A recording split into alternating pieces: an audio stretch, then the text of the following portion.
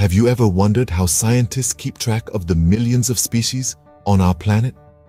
Well, there's a whole science dedicated to doing just that. It's called taxonomy. Taxonomy, in the simplest terms, is the science of naming, defining, and classifying groups of biological organisms on the basis of shared characteristics.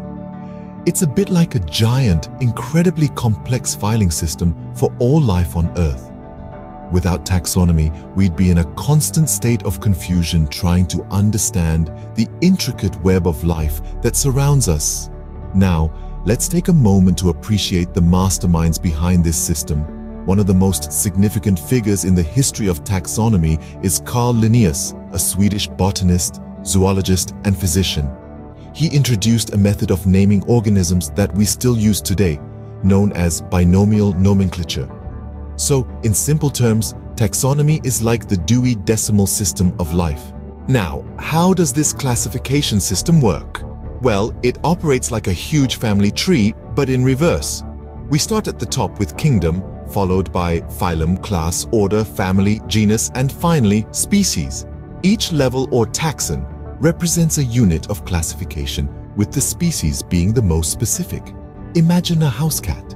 It belongs to the kingdom Animalia, because it's an animal and the phylum Chordata, as it has a backbone. The class is Mammalia, as it's a mammal, and the order is Carnivora, denoting its meat-eating habits. It's part of the family Felidae, the cat family, and the genus Felis.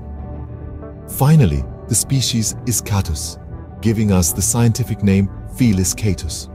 This hierarchical structure helps us categorize the overwhelming diversity of life on Earth it's like a vast neighborhood where every living thing, from the smallest microbe to the largest whale, has its own unique address.